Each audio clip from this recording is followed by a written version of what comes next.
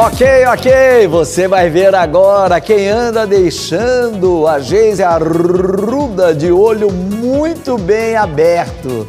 É, quem será? É gringo? Eu quero começar te parabenizando.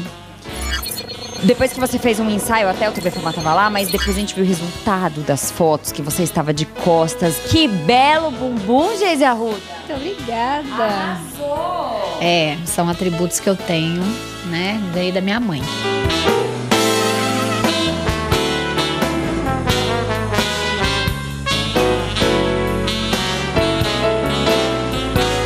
Geise, já que você tem esse atributo tão assim formoso, né? Be- Bem, bem, bem bonito. Não, tá tampadinho, mas tá, tá, né? A gente lembra dele. Você colocaria ele, por exemplo, no seguro? Eu já recebi propostas assim de pessoas, ah, é, você quer colocar metacril, hidrogel? Eu falei, Deus me livre, eu morro de medo dessas coisas. Você já tinha medo antes de, eh, de colocar, por exemplo, a- a- o hidrogel, na, como a Andressa colocou na perna? Você já tinha medo antes dela ou veio depois do caso? Veio depois, né? Eu acho que a André serviu de grande exemplo aí pra todo mundo.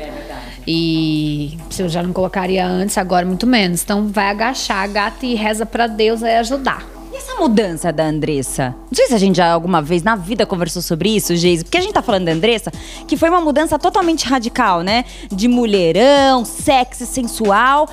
A bela recatada e do lar, agora ela cozinha, não é? Literalmente, né? No começo, sinceramente, eu achei que era uma ação de marketing, porque a Andressa, gente, é uma das pessoas mais. Era, né? Não sei agora.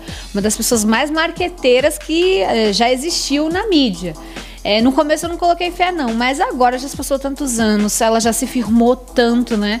Então agora ela tem é, o meu respeito. E a minha admiração também, né? Porque ela se transformou e ela provou que dá sim pra você se tornar um ser humano melhor.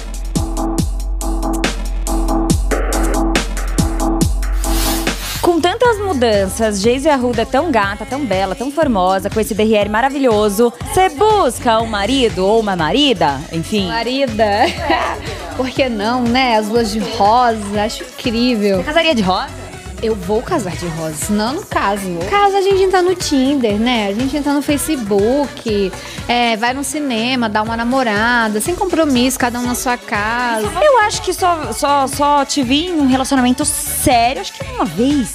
Pois é. É uma moça que, que dá uma bloqueada em relacionamento sério. É que eu escondi de você.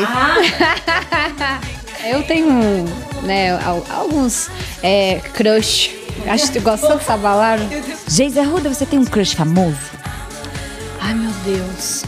Não, que ele saiba não, né? Porque hoje eu daqui que a pessoa tem que saber que é crush. Você com certeza deve ser crush de um monte de gente que você não sabe.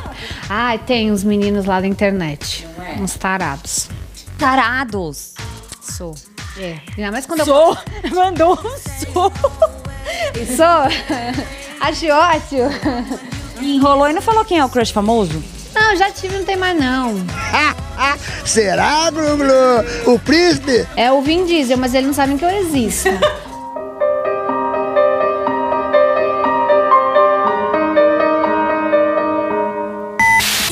Tivesse assim, ele aqui, eu casava. Tinha cinco filhos com ele, tudo carequinho assim. ó. Ele é assim, um homem que eu fico nervosa, eu fico arrepiada. Coloca aí eu e o Vin Diesel no coração.